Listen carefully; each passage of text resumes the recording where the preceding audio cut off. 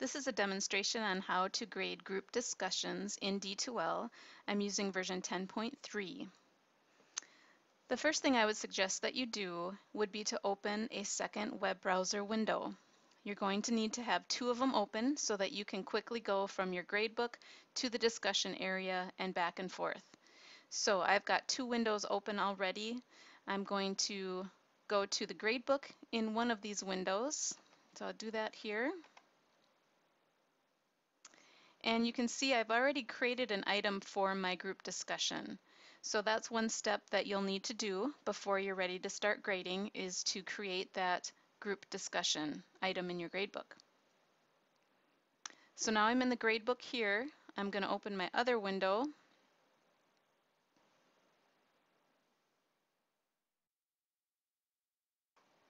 And in this window, I'm going to go to my discussion area. I'm already there, but just for the sake of demonstration, here we go to the discussion board.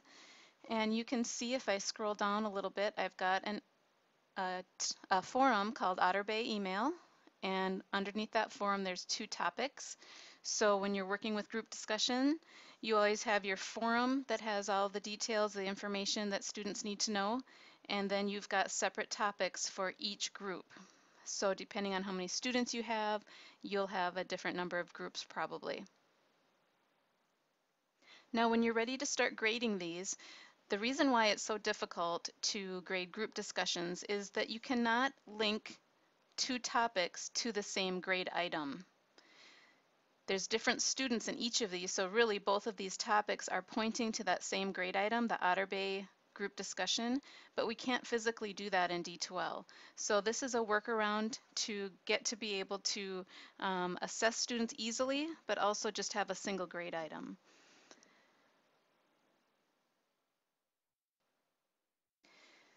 So if I didn't attach any kind of assessment tool uh, to this group discussion, in order to evaluate student activity, you have to go into each group and with with uh, version 10.3, the layout has changed significantly, so you no longer have that grid view. So it makes it very difficult to follow a particular student. So in this group, there's only two students, trainee one and trainee three. But in order to see if number one has, um, trainee number one has posted and then also replied, you really have to go into each of these. So you have to go in here, you can read their posts, you can scroll through the, the different replies, then you have to go back and you have to go into the other thread and view and it, it's very cumbersome and it's very uh, time consuming so what I want to show you is a way to pull all student activity for one student into one page that you can scroll through to evaluate. I'll go back to my discussion page here. So what I'm going to do is I'm going to edit each of these groups and if you have six of them, you do have to edit each group, so that takes a little bit of time, but bear with me, it will be worth it. I'm clicking on the Assessment tab. I will not choose a grade item, because remember we can't do that with group discussions. You just simply enter entering the score out of value. So if this discussion's worth 10 points, you would enter that, save and close. And now I have to do that for each group. So I will go here and I will do edit topic for group two. A little bit of setup work here, entering all of these scores out of 10 points, save and close. Once you've got that part done, you will see there's a little notation that it includes an assessment. That's where you need to be for each of your groups. Now, when the, when the discussion period is over, and students are done participating, that's when you want to go in and, and do your assessing. So you've got your two windows open, one for discussions, one for grades. This is the only topic that has any activity, so that's the one that I'm going to work on, is group two. So I'm going to go here and go to assess topic. You'll only see that feature if you've added an assessment. Now what this is going to do let me change this because this is what it's going to look like when you first go here. It's going to have this view by user and it's going to list all of your students. Now in this class there's only five so it would be pretty easy for me to pick out the two students that are in group two and, and work with them. However, more than likely you're going to have more than five students. So here's some of the things that you'll have to do. You'll have to sort this in both the discussion area and in the gradebook. So for view by, you change it to groups, click apply. I only want to see the students that are in group two under my peer review category. So you choose groups, you choose which group that you want to see and click apply. Now I only see students that are in group two on my discussion area page. So then I also need to do that in my gradebook. So I'm going to switch over. Oh, I think I picked the wrong one. Here we go. Into the gradebook. And you're going to open this up go to grade all, but same thing, see how it brings up all the students? So you have to change the view by and go to groups, apply, which group do you want to see? I want to see the students in peer review group two, apply, and there they are. Okay, so there's a little bit of setup initially, and then again, once you're ready to assess, you have to make sure to follow these steps. Otherwise, you're going to see all your students and it's very difficult to sort through it. Okay, so that's my grade item. Let's go back to my discussion. Do you see how you have to have the two windows open all the time? So now under group two, I'm ready to evaluate the activity for this first student. I click on topic score. It tells me right up on top that there's been three posts. You're not going to use this topic score area, so you can skip over that. Here's my original post from the student. And then the next one is a reply. You can see the text here, but it says replied to, and then it lists what they replied to. So there's a second post.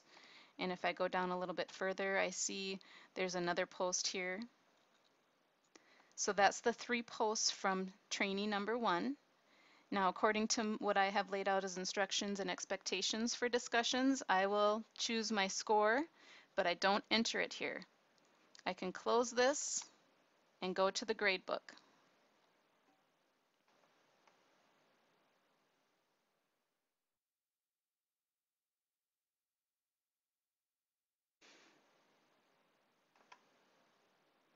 Okay, so here I am at the gradebook.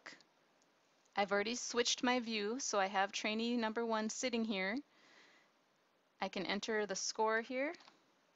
I could enter feedback if I chose to do that. I would click there for comment and I can enter my comment there. The second comment box is just if you want to leave a note to yourself. So students do not see that second box. So you'd enter your feedback and save it. And then I would recommend saving here. You can do your next student before you save, but it's just a good practice to get into saving. So now I want to evaluate trainee number three, I have to go back to my discussion board and I get click on topic score for the next student. Tells me there's three posts there. I can scroll down, I can see their original post. There's a reply. Keep scrolling, there's another reply. So again, I according to my expectation here, I determine what score that student will receive, close this, but the score will be entered on the gradebook page. And this, you know, my screen, because of this demonstration, it's a little bit hard to see what I'm doing here, but you you could even have both these screens side by side on your in your windows so you don't have to keep switching from one window to another. Depends on how big of a monitor you have. But I would go in here, I'd enter the score and save it. So now I'm done with group two. Now I'm kind of going backwards because I, I, have uh, group one and two and I started with two. But now let's say I want to uh, go on to my next group. I would leave the same group here under view by and then under groups here I would change this to group one, apply. So now there's the next students and then I would switch over on my other window as well. And I would switch this to Oh, that one still stays, sorry. You're, you're keeping the same group there and then switch to group one here, apply. And then you can go through and you can click on the topic score for trainee two, four, and five. So biggest thing to remember, make sure you have those two windows open. Two windows so you can switch back and forth. Um, I know this is cumbersome, but it's a lot better than having to go through each thread and finding those, those messages. The biggest thing that you gain is, now this one doesn't have any um, posts, but the biggest thing you gain is being able to pull together quickly all the activity from one student, being able to click here and seeing all of those posts made by that student. So give this a try, see how it goes for you. Please call me if you've got questions.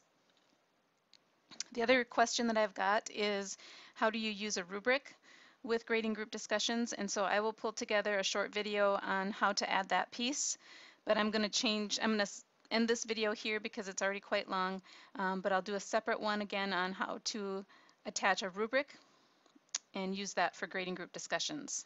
Thanks.